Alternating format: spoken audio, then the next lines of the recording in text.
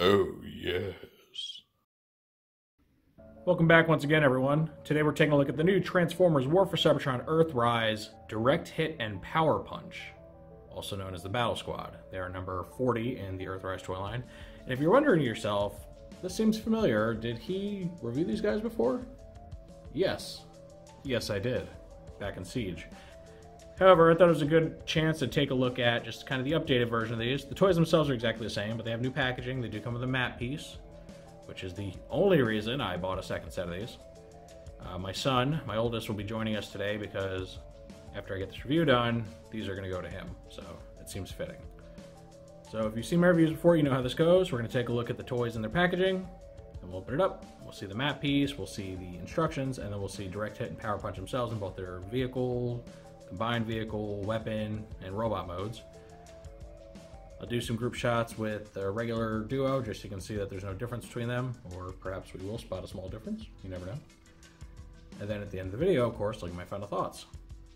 So direct hit and power punch, they look almost exactly the same in packaging as they did in Siege.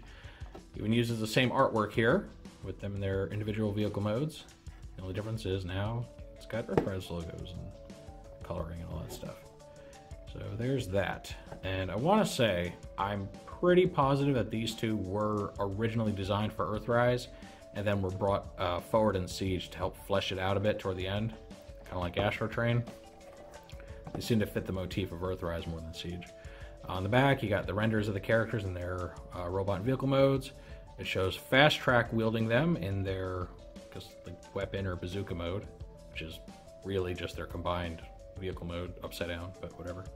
Uh, five steps to transform direct hit, four steps to transform power punch.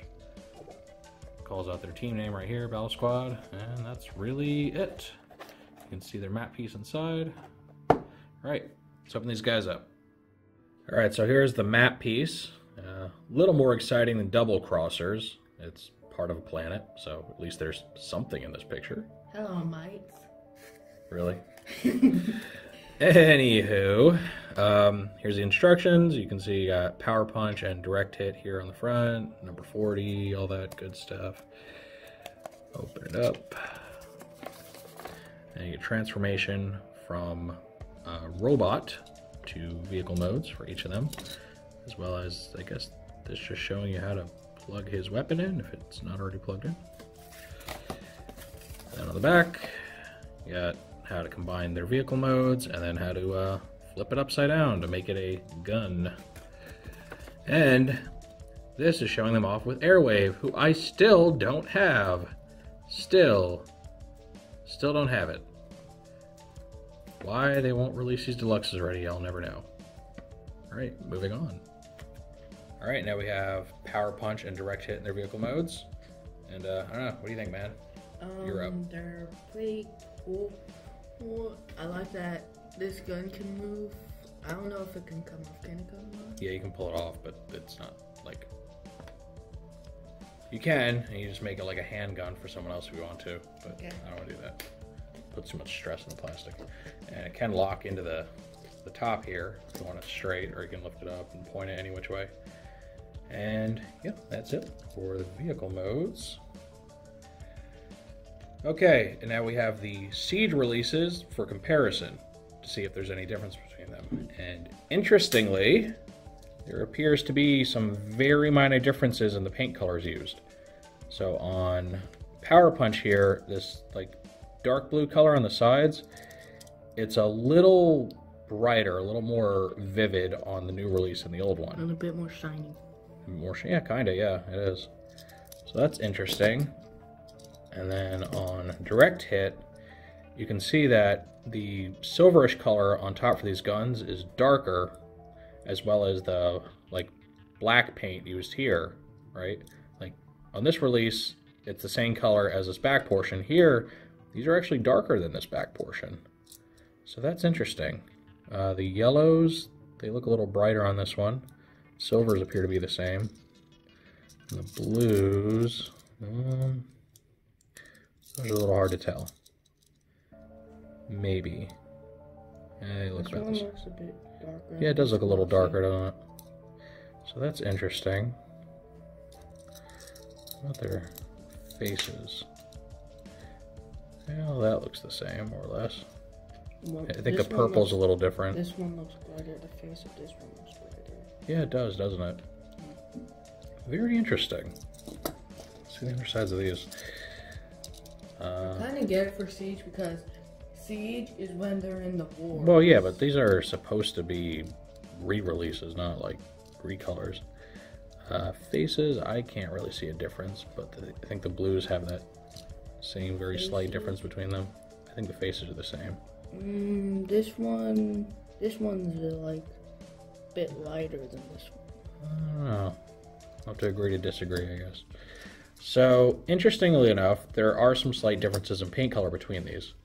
Now, normally, I guess maybe you could chalk it up to aging, um, because the Siege ones are, you know, they were released a little longer ago. However, I don't think photo degradation has any part in it, because where I keep these, it's very, very dark. So, I just, I don't see that being a factor. Maybe as the paint ages, it changes shade a little bit, that or they just didn't perfectly match the paints. So that's interesting. I wasn't expecting that because the other re-releases I've seen have been like one for one. So, hmm. I wonder if that's just my copies or if they're all like that. If anybody owns both, uh, let me know if you have the same situation. I'd love to love to find out. Right now for this super complex transformation to their combined vehicle mode. You guys ready? Pay attention. I'm only going to show this once, and it's it's a doozy. So you take this peg, you flip it down, you do this. Oh my god! I'm glad we made it through that together. I'm not sure everybody made it to the other side. So here's the combined vehicle mode. You know, highlighting the gimmick of these guys being MicroMaster combiners. Right? They have one combined vehicle mode, and unlike the uh, the space team, the Astro Squad, they can actually have standalone vehicles. The Astro Squad can't. So yeah, I still think these are the better toy. Um, the handle can still go up and down and point around and all that. Rolls just fine, so that's nice. And then, of course, if you flip it upside down and turn it around, it's now a bazooka because reasons. All right, to help show it off for us, here's old Ramjet from that Seeker 2 pack. That was an Amazon exclusive.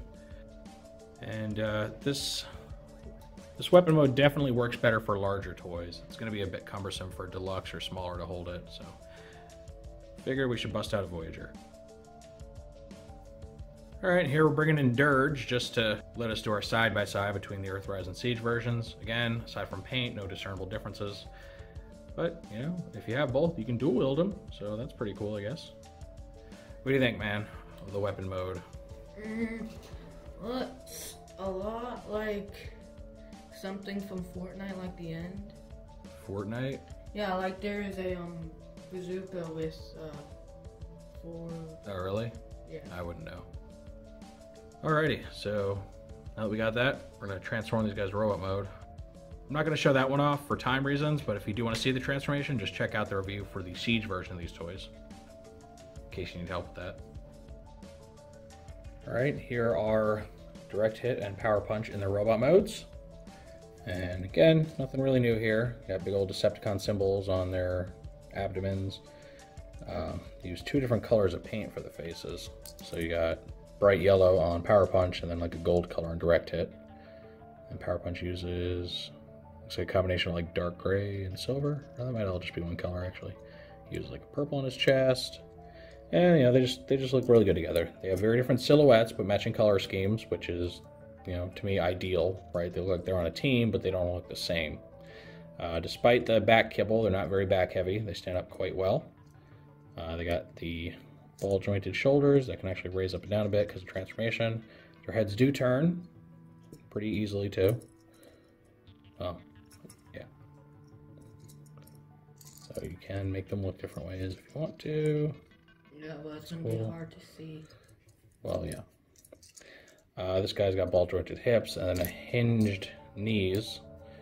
This guy has all the same articulation except his knees are on ball joints, so you also get like a bit of a knee swivel there if you want to. Of course, their feet are molded in place, so it's going to limit how much you can actually pose them. But yeah, that's what you're working with. All right, what do you think, homie?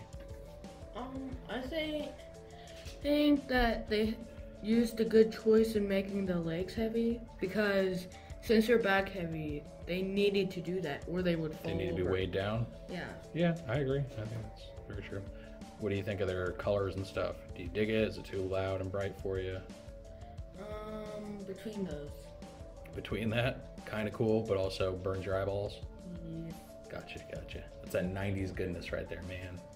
It looks like some G2 Transformers. Kind of. There, there was this definitely this transitional period where like the G1 toys started looking quite a bit like what would become G2 toys. So, very true, very true. All right, here's one last look at the Siege versions next to them, just so you can see that they're more or less the same. And I think that pretty much wraps it up. Now, rather than give you my final thoughts on this, because I already did with the Siege toys, I will turn you over to Mr. No Cube here. What do you think, man? I think they're pretty cool because they have some nice detail, especially on the heads. For heads that small, they added a face. Okay. Um, I like that they added a movable gun on the back of these guys. Okay. And I like that you can connect them together to make like something like a fire truck. Well, it's like a Fire giant engine. military vehicle. It's not a fire engine. Got a cannon on it. But yeah, I mean, it is cool. Like, you know, I always think combiners are awesome, and I think you like them a lot too, seeing as you have about half the number I do at this point. Huh? You got a lot. So, would you recommend other people getting this? Um, yes. If they um if they have both from both Siege and Earthrise, I think it would be cool if you could like if you even had two deluxes that basically use the same layout, you can connect both of them and give them both weapons. Okay, cool. So you heard it here, straight from the mouth of babes. So now the important part is, what do you all think? Will you be picking these two up? Do you already have the Siege version and don't want to double dip? Or is that little piece of cardboard enough to get you to drop another 10 bucks and be a sucker like me? No offense if that's you, but I feel like a sucker for buying these again. Uh, any and all feedback's always welcome in the comment section. If you enjoyed this review, make sure to toss a like, let YouTube know you want to see more stuff like this. If you do want to see more like this, make sure to subscribe and hit the notification bell so you always get a heads up when I post something new. And thank you for joining me and the YouTuber known as NoCube for this look, the second look at Direct Hit and Power Punch. And with all that said, I will see you Next time.